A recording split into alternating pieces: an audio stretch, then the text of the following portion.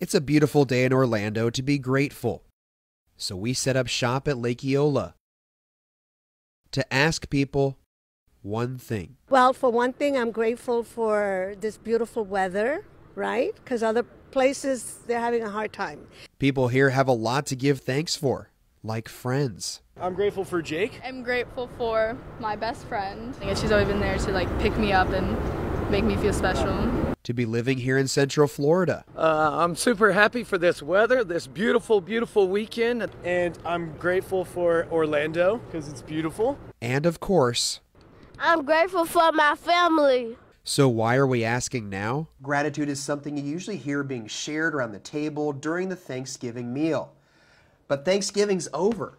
But numerous studies have shown that gratitude can improve your mental health all year long. Take it from licensed mental health counselor Shantala Boss. It can really change your brain, change your brain waves, change the synapses in the brain and the way that they fire, so that if you're continuing to practice that positive thinking, it'll actually come naturally. She says an attitude of gratitude can improve nearly all aspects of your life. And it can increase self esteem, it increases positivity in relationships, it decreases resentment, it improves sleep quality as well. So it's definitely a big thing to our overall physical health. And if you think you have nothing to be grateful for, then you need to hear from Celestina Dyer, who walked up to our mic with this one. I'm grateful for surviving breast cancer.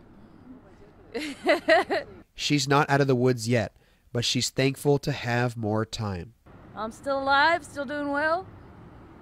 So, doing my exercise, walking around Lake Eola. Doctor's orders.